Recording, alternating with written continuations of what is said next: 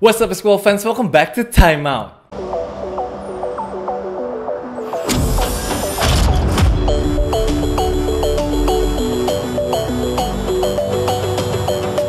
Balik dengan Gorky Padilla, kita kembali lagi ke info basket hari ini edisi 21 Oktober 2020. Time Out Gang, kita akan membuka episode Time Out hari ini yang membicarakan beberapa rumor free agency di NBA. Yang pertama datangnya dari Toronto Raptors. Nah, Raptors dikabarkan akan menawarkan Fred VanVleet kontrak baru sebesar 80 juta US dollar untuk 4 musim mendatang. Jadi seperti kita ketahui, Fred VanVleet ini akan menjadi seorang unrestricted free agent, jadi dia bebas mau sign sama siapa aja. Dan menurut gua dia adalah mungkin the best point guard available di free agency kali ini. Jadi akan banyak tim yang mengincar Fred VanVleet kemarin pun dikabarkan New York Knicks sudah mengeluarkan sinyal-sinyal kayaknya mereka tertarik juga kepada Fred VanVleet. Jadi uh, menurut gue ini kenapa Raptors harus mengambil langkah yang cepat dan juga memberikan gaji yang cukup tinggi.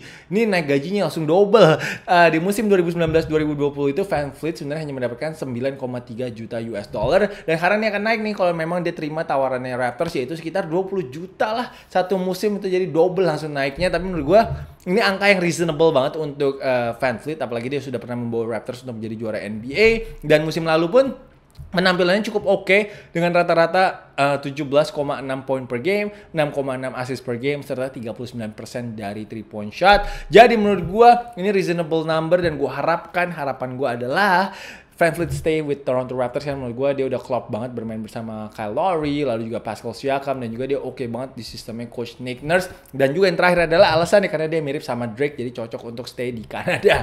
Oke okay, itu dari Toronto Raptors. Sekarang kita pindah ke OKC Thunder dan juga Danilo Gallinari Galinari tampaknya tidak akan stay ya di OKC Thunder dia udah ngepost di Instagram fitnya dia menanyakan kepada fansnya dia harus pindah ke mana.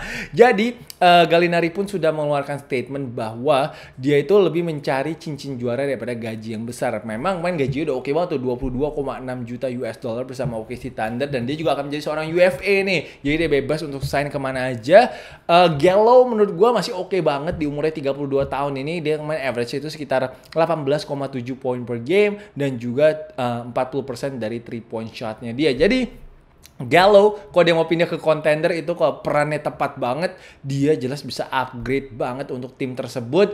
Dan kalau gue mikir-mikir kontendernya tahun depan siapa aja ya, mungkin Gallo bisa aja ke Miami Heat, uh, Los Angeles Lakers, mungkin juga bisa ke Milwaukee Bucks, ataupun ke Dallas Mavericks kayak juga cocok juga tuh kayaknya. Kalau menurut kalian kira-kira tim mana nih yang cocok untuk Danilo Gallinari? Kalian bisa tulis aja di comment section di bawah. Nah, yang terakhir Bradley Bill. Wah, Bradley Bill gue masih bingung kenapa dia kenceng banget rumor-rumornya akhir ini. Padahal lima hari yang lalu Bradley Bill udah mengeluarkan statement bahwa dia pengen stay bersama Washington Wizards untuk sepanjang karirnya karena dia adalah pemain yang sangat loyal kepada timnya. Tapi tetap aja dua hari terakhir ini dikait-kaitkan dengan uh, Golden State Warriors. gue juga nggak tahu kenapa tapi yang pasti Warriors kan memang musim mendatang itu adalah musim comebacknya mereka redemption ya setelah nggak masuk playoff tahun ini dan juga banyak sekali pemain yang cedera. Tahun depan sepertinya Klay Thompson, Steph Curry dan juga Draymond Green semuanya akan sehat. Jadi mereka akan mencoba untuk make another another title run dan mungkin butuh satu star lagi untuk membantu mereka melakukan itu. Dan itu kenapa tampaknya mereka dikaitkan untuk bisa ngesign si Bradley Bill ini. Paketnya sama bila mereka bisa ngesign si Giannis nanti ataupun bisa nge-trade untuk Giannis yaitu Andrew Wiggins uh, second picknya mereka dan juga top picknya mereka untuk musim mendatang. Mungkin dikasih pemain-pemain lain lah beberapa role player mereka mungkin juga bisa dilepas. Tapi menurut gue Kayak Bradley Bill agak keramaian ya kok mainnya di uh, Golden State Warriors. Kita tahu dia posisinya bentrok sama Clay Thompson sama-sama shooting guard. So I don't really see this happening. Apalagi juga Bradley Bill kemarin baru aja sign extension ya. Gue tahun lalu kayak sign extensionnya yaitu sebesar 120 juta US dollar untuk 5 musim bersama Washington Wizards. So gue nggak akan terlalu banyak menaruh harapan untuk trade ini terjadi. Cuma ya kita tahu ini lagi off season. We just gonna have some fun with the rumor-rumor karena itu juga yang bisa membuat time out tiap hari hidup ya kalau ada rumor-rumor di NBA. But I don't think that's gonna happen from me. Uh, menurut gue mungkin lebih mungkin adalah kejadian kalau Warriors nge-trade untuk Yanis mungkin daripada untuk Bradley Bill. Nah itu untuk Warriors sekarang kita ngomongin Warriors sebenarnya masih ada satu lagi nih. Gue ngomong Uh, shout out untuk Clay Thompson. Menurut gue dia luar biasa sekali hari ini dengan melakukan FaceTime dengan seorang fansnya dia dan juga fansnya Warriors yaitu Deborah Wright yang sedang uh, fighting with cancer right now. Jadi menurut gue itu adalah hal luar biasa sekali untuk Clay mau meluangkan waktunya dan juga FaceTime dengan fansnya ini dan memberikan semangat agar dia bisa cepat sembuh nanti ke depannya siapa tahu bisa nonton Clay Thompson dan juga Warriors lagi. So this is benar-benar pure class dari Clay Thompson yang gue really appreciate banget berita ini. Oke, sekarang kita pindah ke India Indiana Pacers. Indiana Pacers akhirnya memiliki pelatih baru setelah mereka banyak sekali melakukan interview dan gue lumayan kaget dengan pilihan ini karena gue nggak kenal juga pilihan ini yaitu Coach Nate Bjorgren. Semoga gue gak salah ngomongnya, gue belum even cek tadi di YouTube, harusnya bisa gue cek dulu uh, pronunciationnya gimana. Jadi kita tahu Coach Nick McMillan dipecat setelah memang uh, Pacers itu struggling bersama dia di NBA playoff dan saat ini uh, Raptors, uh, sorry kok Raptors, uh, Pacers ini mencoba mencari pelatih yang bisa membuat mereka sukses di postseason. Nah, memang ngomongin Raptors yang baru aja kesebut sebenarnya otak gue udah jalan terlebih dahulu untuk ngomongin bahwa si Nate, Coach Nate Bjorkgren ini merupakan assistant coach di Raptors untuk Coach Nick Nurse. Nah, harapannya adalah beberapa tahun terakhir ini dia belajar banyak dari Coach of the Year Nick Nurse agar ini bisa dia implement nantinya ke Indiana Pacers untuk bisa membawa Indiana Pacers sukses di musim mendatang. Dan memang Coach Nate ini belum punya pengalaman untuk ngelatih di NBA ini merupakan kesempatan pertamanya dia. Dia dulu pernah ngelatih kalau nggak salah di NBA G League untuk Santa Cruz Warriors but itu uh, udah lama kalau nggak 6-7 tahun yang lalu. Dan sekarang dia mendapatkan kesempatan pertamanya untuk di NBA dan timnya dia oke. Okay. tinggal kita lihat aja Victor Oladipo apakah dia akan pindah ke Miami Heat atau tidak. Kayak katanya dia ngebet banget mau ke sana. Dan juga yang pasti dia masih ada Malcolm Brogdon, Domantas Sabonis, Miles Turner serta juga TJ Warren. Jadi kita lihat aja apakah coach Nate yang baru nih Nate tukar sama Nate apakah Nate ini akan lebih sukses atau tidak untuk Warriors. Next kita akan ngomongin tentang draft prospect. Gue tahu baik sekali memang uh, subscribers gue sudah request untuk kita ngomongin draft prospect. Kita masih ada satu bulan kita ngomongin ntar satu-satu setiap harinya. Dan hari ini yang kita akan ngomongin adalah Onyeka Ukungwo. Kalau nggak salah namanya, wah ini susah juga sih namanya. Ya. Ini adalah salah satu top prospect dan dikabarkan bisa menjadi calon dark horse di rookie tahun ini. Dan memang ini luar biasa panjangnya 6 foot 9 dan juga dia elite rim protector. Kok gue baca scouting reportnya dan selama di USC di University of Southern California dia average sekitar 2,7 blocks per game. Dia nggak hanya bagus untuk menjaga paint area dan dia ternyata dia bisa jaga di perimeter juga katanya. Dia tuh kakinya lumayan cepat lateral quicknessnya untuk defense. Jadi ini uh, merupakan matchup misalkan sebuah tim pengen punya big man yang versatile bisa jaga small forward atau power forward dia akan cocok banget untuk bisa melakukan itu. Dan dia adalah target aliup karena tangannya tuh jago banget nangkep bolanya lengket banget kayaknya. Dan dia akan menjadi target aliup dan juga kalau di NBA bisa di compare katanya permainannya itu mirip dengan Clint Capella jadi ini salah satu pemain yang akan berada di top 10 katanya di draft uh, night nanti. Kalau di mocknya si mock draftnya si NBA Draft.net, dia itu ada di nomor 6 untuk Atlanta Hawks. Wah, berarti satu tim sama Clint Capella ya. Tapi kalau ini lu keren juga sih menurut gua kalau dia bisa bermain sama Trey Young dan juga mungkin jadi backupnya si John Collins dan juga nanti dia bisa jadi belajar tuh sama Clint Capella karena kan permainannya mirip. Itu bisa langsung jadi mentornya. This not it's not a bad it's not a bad uh, place for him to play in Atlanta Hawks menurut gue. Um, that's gonna be a fun team to watch, atletis sekali pastinya. Tapi kalau gue pengennya dia kayak cocoknya di mana? Di Washington Wizards. Gila gue nggak kebayang sih dia main pick and roll sama John Wall. Itu menurut gue wah bakal atraktif banget sih. Pasti John Wall akan ngelempar operan-operan yang ajaib ke dia ntar ditangkap langsung didang sama dia dan dia akan membuat trio baru mungkin nanti di Washington Wizards bersama Bradley Bill but we will see kalau menurut kalian kira-kira oh ini nama siapa nama depannya? Gue nama depannya aja udah lupa nih namanya um, Onyeka kira-kira menurut kalian Onyeka ini akan ke mana nih di uh, di draft night nanti? Kalian bisa tulis di comment section di bawah. Oke okay sekarang kita pindah ke oh besok sebelum kita pindah ke berita lokal besok tampaknya kita akan membahas James Wiseman ya karena udah banyak banget yang request untuk dia dan dia mungkin bisa jadi topik. So besok coba kita uh, ngomongin sedikit tentang James Wiseman. Uh, but sekarang kita akan pindah nih ke berita lokal. Yang pertama itu ada roster West Bandits baik banget yang nanyain gue kan nggak mau bahas West Bandits oke kita bahas dikit. Uh, kemarin ini gue belum tahu belum nanya sama manajernya langsung Cesar tentang siapa aja sih sebenarnya udah dikontrak secara resmi Tapi kalau gue lihat dari video YouTube mereka ataupun video latihan mereka, itu ada pemain veteran Mary Ferdiansyah. Ini wah ini bisa jadi comeback season comebacknya si Mario. Di penasaran gue Mario masih banyak kan nih pelurunya untuk nembak 3 point nanti di IBL. Lalu yang pasti ada mantan pemain Pelita Jaya, ada Yogi juga dan satu pemain yang udah ditunggu-tunggu banyak orang juga yaitu Rio DC. Gue penasaran Rio DC ini nanti di IBL bisa mencetak rata-rata berapa poin karena dia merupakan shooter yang bagus dan juga dia bisa mix tuh. Kadang-kadang ngedrive juga oke. Okay. jadi ini salah satu pemain yang gue excited banget untuk nanti nonton di IBL dan yang lalu masih ada Yeva. Gue nggak tahu Yeva apakah dia akan main di IBL atau tidak karena gue tahu dia kerja kantoran. So we will see if he gonna play for West Bandit atau enggak. Lalu yang pasti ada Patrick Nicholas. Patrick Nicholas ini adalah pemain dari UPH dan dia tampaknya akan menjadi rookie-nya West Bandit season ini. Dan ini merupakan salah satu uh, pemain yang sangat underrated kayaknya di Liga Mahasiswa menurut gua. Dan yang terakhir Main ada videonya gue lihat di Instagram story-nya mereka kayaknya ya. Ada senternya CLS Nice Indonesia yaitu Sahroni. Sahroni akhirnya pindah nih kayaknya bermain di IBL juga dan ini kayak gue gak akan kaget kalau memang nanti akan banyak beberapa pemain uh, eh, CLS yang pindah ke IBL. Gue masih nungguin O2 sih. Menurut gue O2 nih wah jago banget sih sekarang ini waktu main di uh, Thailand bersama CLS. So gue harapkan O2 akan masuk ke IBL juga agar kita bisa menikmati permainannya dia. But Sahroni jelas nih memberikan size untuk West Bandit. Kita tahu big man itu susah banget nyarinya di Indonesia dan Sahroni pun punya pengalaman menjaga import-import di uh, di ABL. Jadi udah dia dilatih sama coach Koko. Menurut gue motivasi yang diberikan sama coach Koko dulu tuh dia cerita di Instagram story itu udah keren banget menurut gue dan anak ini memang niat sekali untuk bisa kerja keras dan juga bermain basket. So all the best untuk West Bandits dan juga Saroni. Uh, sekarang ini kalau menurut gue West Bandits kalau bisa add satu superstar, wah timnya mereka akan solid sih. Tapi kita nggak tahu superstar mana yang uh, free agent season ini. Please dong kalau ada yang punya kontrak, uh, bukan kontrak yang punya berita tentang free agency di IBL, please kasih tahu gue biar kita bisa bahas di sini. Wah ngarep banget gue. Tapi yang pasti. Uh, mereka sekarang ini udah sangat serius ya mempersiapkan diri untuk IBL yang kemungkinan bisa aja mulai bulan Januari nanti. Uh, sedangkan untuk tim baru satu lagi yaitu Bali United itu juga banyak banget yang nanyain gue kak siapa yang kira-kira akan main untuk Bali United? Jujur gue juga nggak even tahu siapa pemainnya dan juga pelatihnya masih mereka belum tahu. Tapi kok ada yang punya rumor-rumornya kalian bisa DM ke gue nanti kita mungkin bisa bahas di sini.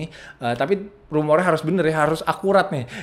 Jangan rumor-rumor yang denger-denger aja tapi yang pasti rumornya harus uh, dapetnya dari uh, credible sources. Nah itu oke. Okay itu untuk uh, West Bandits dan juga Bali United. Uh, next, kita akan ngomongin tim nasional Indonesia. Tim nasional Indonesia hari ini menjalankan sparring melawan NSH Jakarta, di mana mereka menang besar dengan skor 105-48. Kita tahu NSH ini pasti pemainnya dikit banget, nggak banyak. Itu kenapa poinnya jauh banget dan juga Top scorer hanya adalah Leicester Prosper 17 poin, eh sorry 18 poin, Brandon Juaro 17 poin, serta ada Govin yang memulai debutnya bersama timnas dengan 15 poin. Wah ini debutnya bagus juga sih. Dan gue lihat tadi memang Govin mainnya juga cukup semangat dari highlightsnya Raul dan juga yang pasti Arki di first half. Wah passing-passingnya keren banget menurut gue si Arki dan juga mainnya bagus. Uh, lay up dia tadi satu ada yang menurut gue itu wah gila, udah jarang banget lihat Arki seperti itu sebenarnya. Dan Arki ini kayak turun berat badannya lumayan jauh sehingga lebih lincah banget sih sekarang ini dan juga ini mungkin ada persiapan dia untuk window kedua. Oke, kalau gitu tanpa panjang lebar kita akan lihat highlightsnya sedikit nih dari Insta story-nya Raul. So, thank you so much Raul yang sudah selalu setia untuk membagikan klip-klipnya tim nasional Indonesia. So guys, without further ado, kita langsung lihat aja highlightsnya timnas Indonesia melawan NSA Jakarta. Penuh, penuh, penuh, penuh. Play, play, play, play, play, play,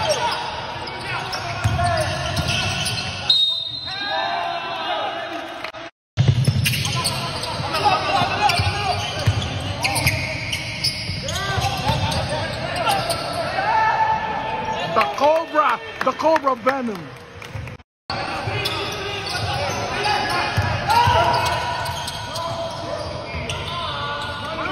Shot. Six man. Oh my God.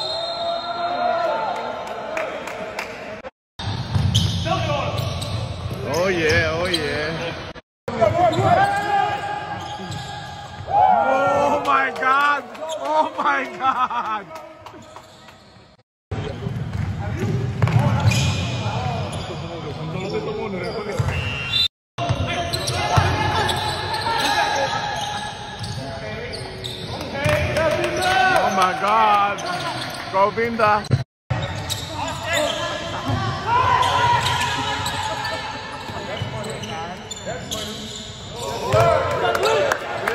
Itulah highlights dari tim nasional Indonesia melawan NSA Jakarta. Thank you so much once again untuk Raul dan juga Charlotte untuk semua pemainnya tim nasional Indonesia. Keep working hard dan semoga nanti kita bulan depan saat lawan Thailand dan lawan Korea bisa memenangkan dua pertandingan tersebut.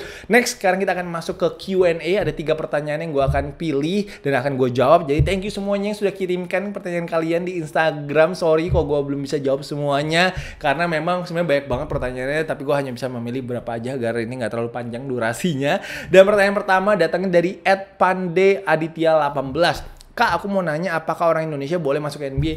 Semua orang boleh masuk NBA. Gampang aja pertanyaan ini.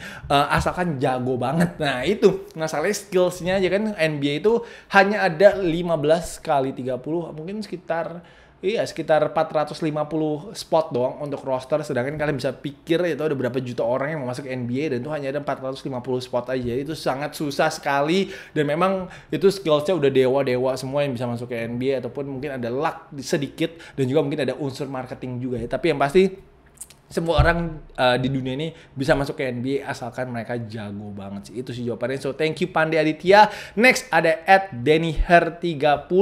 Starting 5 timnas basket putra Indo versi Koroki. Uh, kalau sekarang ini yang ada di squadnya uh, gue pilih Pras, uh, Abraham Damar Grahita, Jawaro, Vincent dan juga Lester Prosper. That's my uh, starting five kalau memang uh, yang ada di roster saat ini. Tapi kalau misalkan nanti Jawaro dan juga Lester nggak bisa main masih masih belum beres uh, masalah naturalisasinya, gue akan ganti Jawaro dengan Arki dan gue akan ganti Lester dengan Jamar Johnson. I think that's gonna be a good uh, and a solid starting five untuk Indonesia bila akan bermain di FIBA Asia Cup nanti. So thank you so much untuk Danny Her untuk pertanyaannya. Terakhir, ada pertanyaan dari @beritabasket.id, 5 pemain timnas muda yang bisa mengejutkan pelatih selain nama besar. Uh, I wish gue akan tahu, uh, ini akan susah banget menurut gue sih, uh, apalagi di masa pandemi ini. Menurut gue tergantung persiapan pemain ini nih, latihan apa enggak selama karantina ini, ini akan yang membedakan pemain yang uh, siap untuk try out dan akan jago di try out sama yang enggak. Karena semua it's all about preparation menurut gue aja kalau mereka prepare selama ini dan latihan terus badannya bagus uh, skillsnya diasah terus menurut gue pemain-pemain tersebut akan sukses setelah pandemi. Jadi gue yakin setelah pandemi mungkin banyak kejutan sih pemain-pemain baru yang kita nggak pernah dengar bisa jago. Karena mereka selama pandemi latihan uh, dan kita nggak pernah tahu gitu.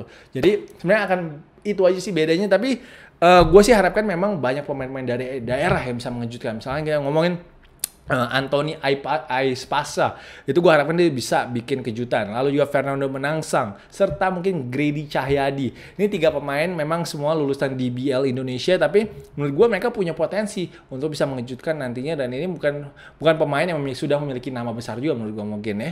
Jadi uh, itu adalah pilihan gue tapi yang gue masih bingung adalah dengan pemain-pemain IBL yang nanti kalau misalkan kepilih ke timnas elit muda berarti mereka nggak bisa main buat tim IBL ya dong. Misalkan kayak Tivan, Anthony Erga, Dio Tirta menurut gua kasihan juga timnya. Kok apalagi timnya mereka bukan tim papan atas gitu. Jadi ini adalah pemain-pemain yang sangat penting untuk tim tersebut. Jadi gue bingung kadang-kadang. Kasihan juga kalau nggak ada pemain-pemain tersebut tim itu gitu. Makin lemah aja kekuatan mereka gitu. Kalau itu menurut gue tapi itu mungkin bisa didiskusikan di lain waktu sih. So guys itu aja video timeout gue hari ini kayak cukup panjang tapi yang pasti thank you so much untuk timeout geng semua yang sudah selalu setia menonton setiap harinya dan sudah komen dan selalu sudah like video ini gue thank you banget guys. Dan yang pasti kita akan ketemu lagi besok jadi jangan lupa untuk like comment and subscribe. Thank you guys for watching. I'll see you guys tomorrow. Peace